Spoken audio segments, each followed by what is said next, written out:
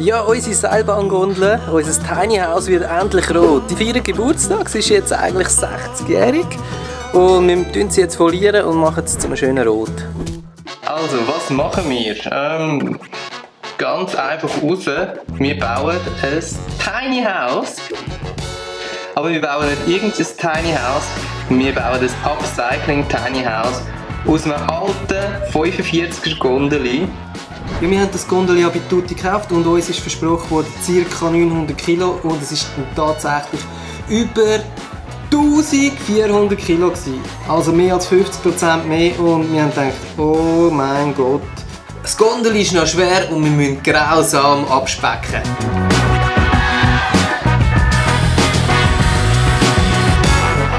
Jetzt sind wir hoffentlich super leicht und jetzt geht es auf die Waage. Wäre das so der Anhänger 1290. 1290, Ja, ja das ist ja. super, sensationell.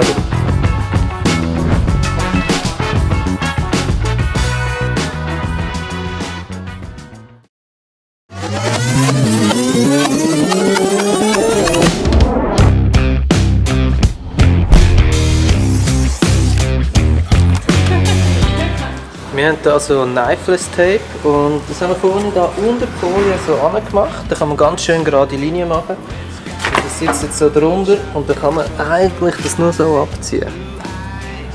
Seht ihr? Gibt es saubere Linien. Und nachher Plastik darunter weg.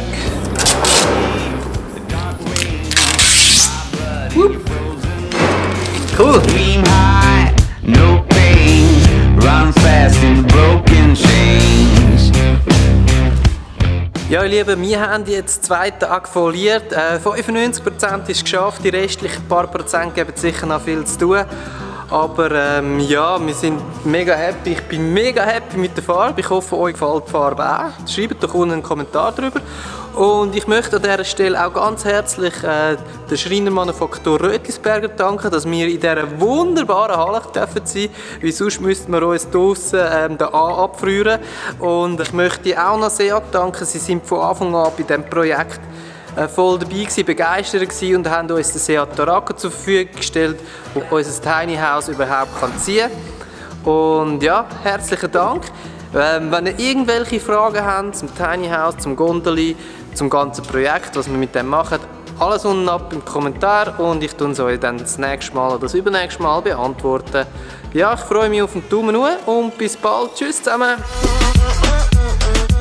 Ja Leute, heute ist ein Hammertag. Ich bin in der Schreinermanufaktur Rötisberger und heute wird mein Boden hergestellt für unser Tiny House Gondel.